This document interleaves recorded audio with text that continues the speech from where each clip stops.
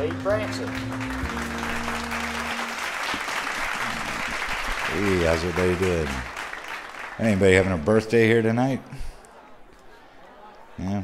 I love celebrating my birthday. I call my mom up every year and say, Hey, mom, thanks for getting laid. and the first time I told her that, she said, Well, it was my pleasure.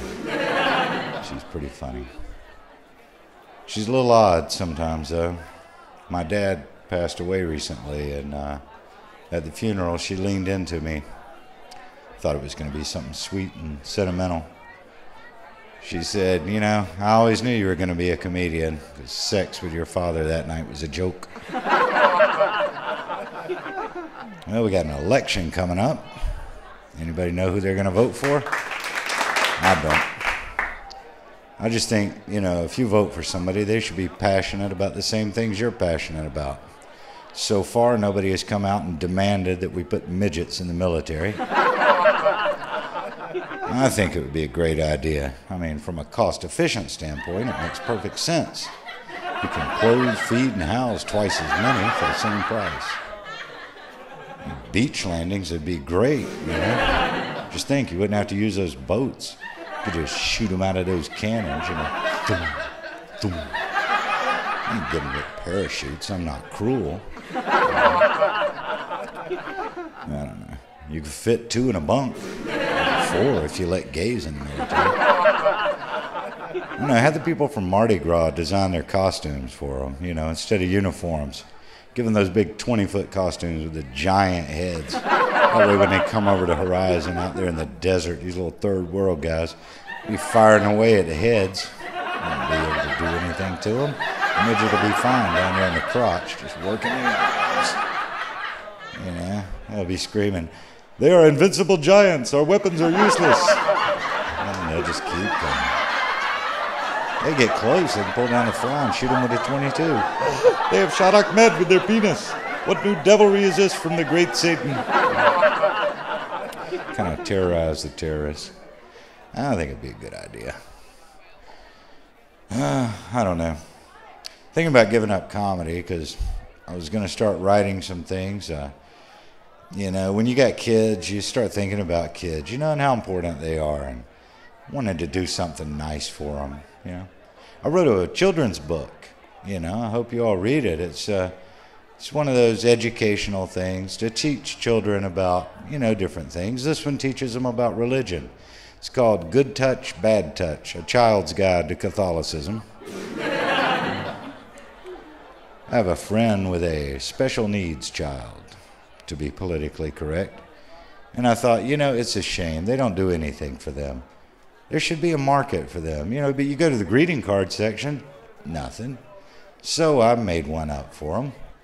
On the front it says, To my special daughter on her special day. You know, it shows a little short bus with the kids in the hockey helmets, a couple of them licking the glass. And uh, then you open it up on the inside, and you see the long buses plummeting into a fiery chasm. and the writing in the inside says, Just remember, sweetheart, all the kids on the long buses are going straight to hell. And it just gives them hope. Mm. You know how mean kids can be on the school bus, right? I mean, everybody rode the school bus at some point. You got to wonder do the kids on the short bus do the same thing? Pick on each other?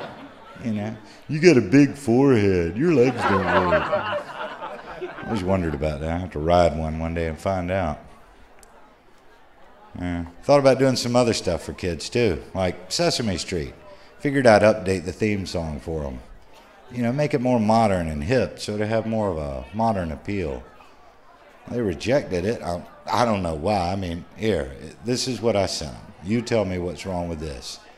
I like hanging out with Big Bird, Ernie, and the Grouch. Sesame Street's in the motherfucking house. I guess that blasting out in somebody's living room with their five year old sitting there with his Fudgsicle probably wouldn't be a good idea. yeah. I was uh, flipping channels the other night and came across this extreme sports show, but it was on the religious network which I thought was kind of odd, you know, mixing religion and the sports. I mean, if Lance Armstrong were a Mormon, you know, because you know, Mormons ride bicycles and Lance Armstrong won that. It's like a big bicycle. anyway, it's weird though. I thought, well, if they can mix, you know, religion into sports, the way these boxers, every time they win a fight, they go, well, I just want to thank my personal Savior Jesus for giving me the strength to beat that non-believer into a coma. what is this guy doing in between rounds? What would Jesus do? He'd use the uppercut.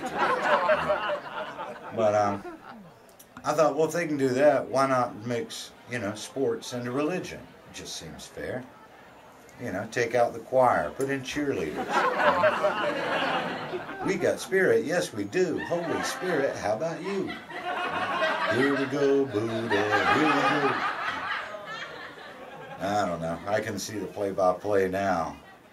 Oh, there's an offsides call there. Uh, Father Timmy's been flagged for illegal contact. Looks like he'll be spending 15 years in the purgatory penalty box.